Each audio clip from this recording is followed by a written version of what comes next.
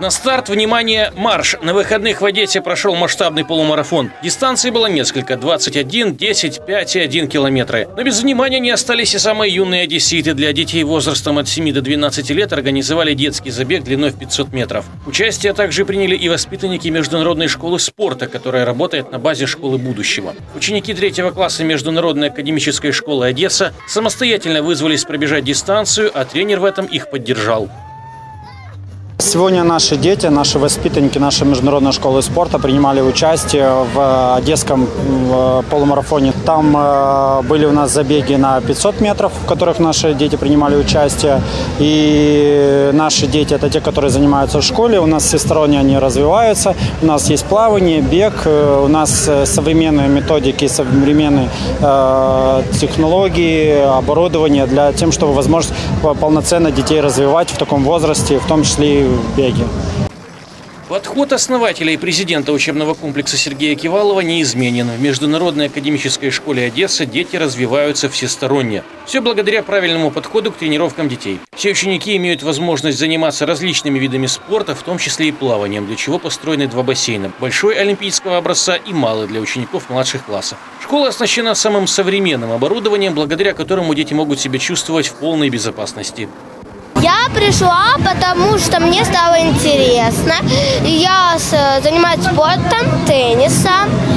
И мне стало интересно. Когда мне в школе сказали, что будет марафон, вот, я очень захотела сюда пойти. В физкультуре мы бегаем, у нас очень большой зал, и мы бегаем два стадиона. Вот, и разные, и по-разному.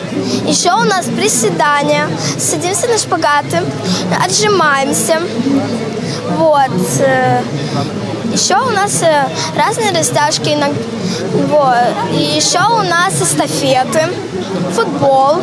Помимо того, что в школе детей готовят к соревнованиям, так и сами тренеры принимают участие в них. Яна Волкова – тренер по плаванию в Международной школе спорта. И в этот раз также решила принять участие в полумарафоне, ведь это была ее мечта, которую она уверенно осуществила мечтала пробежать полумарафон, э, готовилась, мне помогал Иван Глушко, который тоже тренер нашего бассейна. Он у нас ведет триатлон, соответственно, бег, велосипед и плавание.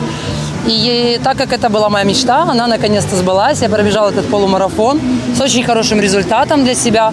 Но это как для меня победа над собой. То есть э, для меня такие вот достижения, маленькие или это большие, я понимаю, что я на этом не остановлюсь, хочу еще и больше. В спорте сила. Возможно, даже пловцам бегать немножко легче, потому что а, легкие работают как в плавании, так и при беге. И как альтернатива это очень хорошая профилактика бронхолегочных заболеваний.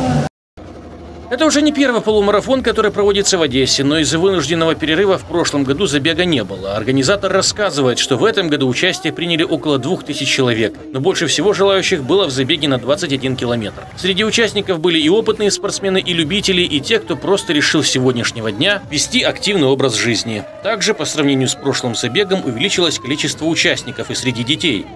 Обычно на наших стартах очень много детей, это тысячу-две детей. Мы это делаем осознанно, развиваем детский спорт. В этом году мы решили начать с ограничений. Дети были, было около 140 человек э, на дистанциях 100 и 500 метров. И я уверен, что они своим примером и своими медалями в школе покажут, что бегать это круто и заниматься спортом э, это круто. Сам детский забег длился немного, ведь дистанция не такая уж и большая, но все участники остались довольными. Ведь каждый хотел поучаствовать и получить ценный приз. Я немного ошибся, потому что сначала я потратил все свои силы. Ну, под конец уже еле-еле добежал. Я хоте, э, хотела дальше бегать, потому что мне понравилось, и я еще хочу прибежать первой. Второй раз уже марафон бегу, а так я часто бегаю. Наверное, потому что я просто люблю марафоны и бегать.